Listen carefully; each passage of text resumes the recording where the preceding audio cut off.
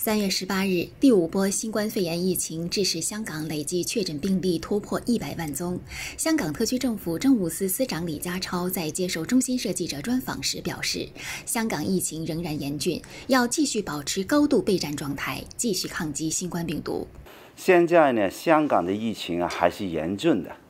呃，每天大概就是两万到三万的徘徊范围啊，这个呢是一个高位的。平台期，所以我们不可以放松。政府当然更加应该在这这个时间呢，更加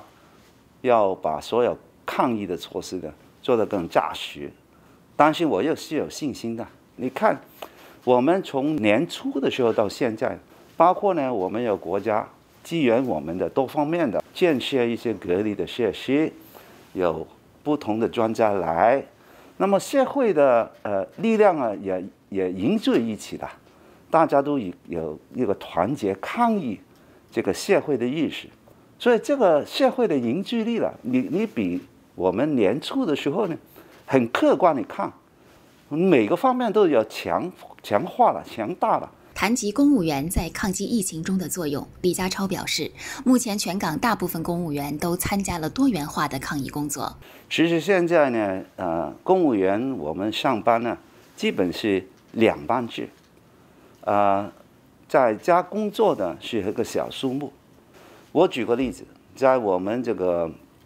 潍坊一个大厦，呃，强制他们这个做做核酸检测的。每一个部门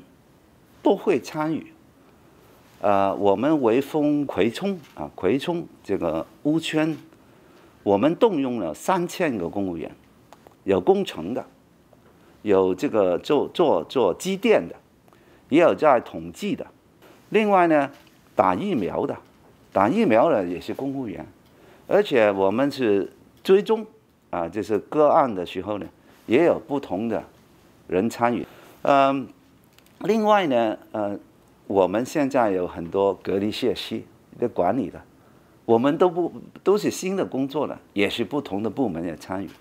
所以从我们动员方面呢，只有我们有需要，他们都参与。当被问及近期医护人员和纪律部队人员参与公共服务染疫的数字较高，特区政府采取了哪些措施时，李家超表示，这些人员参与的是高风险工作，因此特别强调做好自我保护，包括呢这个保护这个装备啊衣服啊这个严格的要求他们做好这方面，呃，所以在这方面的指引啊要加强，这个是第一点。第二点呢，我们要确保他们这些装备要足够啊。那么第三点呢是每天呢，他们就看啊，他的工种需不需要呢？每天就做个快速检测。医疗管理局呢现在也有一个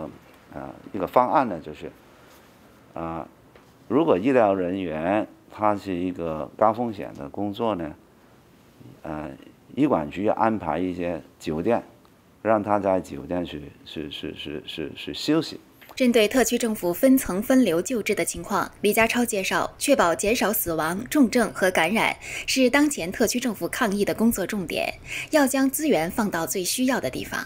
那么现在在医疗治疗方面呢，其实我们分五层。呃，简单来讲，就是按他需要的治疗情况啊。呃，第一、第二呢？基本就在医院里面，第三层呢，就是它比较稳定了，但是还是要一些医疗的照顾，稳定的，啊，所以现在呢，我们基本上有两个地方把他们放进去的。第一个就是我们在呃呃北大屿山的这个呃感染呃控制中心啊，这个也是呃内地帮助我们建的。呃，另外一个地方呢，就是亚洲博览馆。第四层呢，就是轻症的，或者是无症状的，或者是已经呃正在呃这个呃痊愈的，但是也要观察。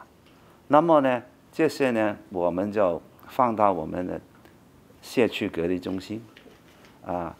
呃，另外一个讲解的暂托中心。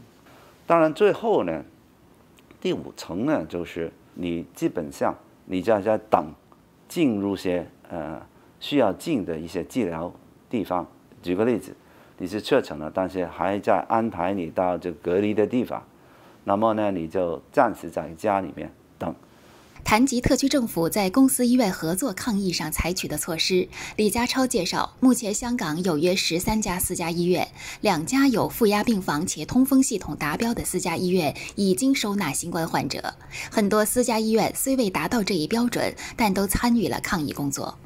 举个例子，他现在呢会接受在公立医院的其他的病人，也减低公立医院的压力，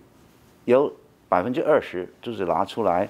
呃呃接收公营医院给他们的病人的。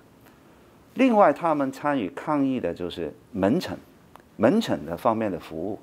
呃，很多私家医院呢已经负担了营运暂托中心的啊这个服务的。所以我觉得呢，呃，整个医院系统怎么用好公司两方面呢？我觉得呢，第一是要充分的合作，啊，不分你我哈，所以这个磨合啊，我觉得呢，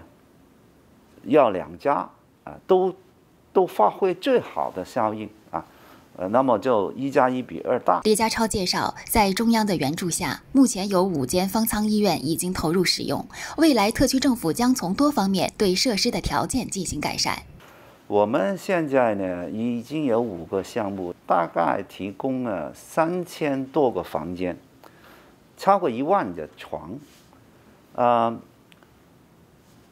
我们现在这个入住率呢，平均是八成，有些时候是九成。我很多时候的解释呢，因为这房间有流转的，也有消毒的，有一些维修的，所以都。百分之八十，有一些是百分之九十，我觉得也符合我的要求。另外呢，呃，我们也优化很多服务啊，包括呢，你这个食物方面，我们现在呢是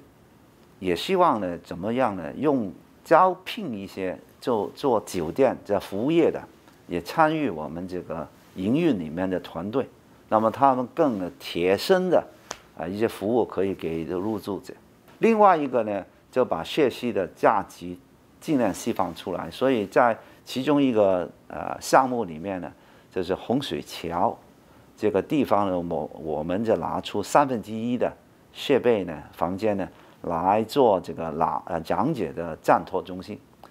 呃，这个是重要的。连日来，累计已有三百多名内地医护人员来港支援，李家超对内地团队的到来表示感谢。他说：“内地医护的作用很大，增加了香港的医疗人手，对香港抗疫工作起到积极作用。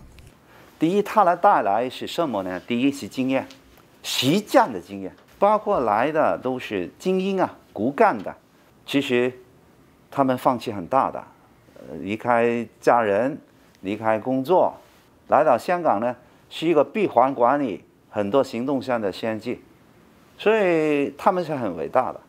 所以我非常感谢他们，所以有些言言呃这个言语表达不了我我对他们的谢意和敬意。另外一个可能人家不明白就是互勉、互助这个精神，这个团队呢就强大了。所以我是很有信心的。